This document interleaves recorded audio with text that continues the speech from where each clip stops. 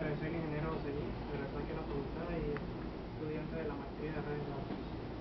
El proyecto de tesis es más